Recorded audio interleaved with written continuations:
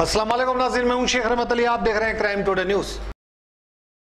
फिर एक बार anti corruption bureau ने एक बड़ी कामयाबी हासिल की। हयात नगर केशमपेट, एमआरओ के मकान पर एंटी करप्शन ब्यूरो ने छापा मारा, जहाँ से 93.50 लाख रुपीस नकद रकम 400 ग्राम गोल्ड के अलावा दिग्गर सामान जब्त किया गया। ये सारे रिश्वत के रुपये हैं। ये एमआरओ रिश्वत के ज़रिए ना जाने कैसे और किस तरह से रुपये कमाए और कितने गरीबों को और कितने लोगों के साथ नाइंसाफी की, उसके बदले में ये रुपये इसके पास आए। बहरहाल एंटी करप्शन ब्यूरो ने इसको हिरासत में लेकर खसूसी अदालत में पेश किया गया जहाँ से उसको जेल को भेजा जाएगा। मैं Sheikh Rahmat Ali crime today news Hyderabad.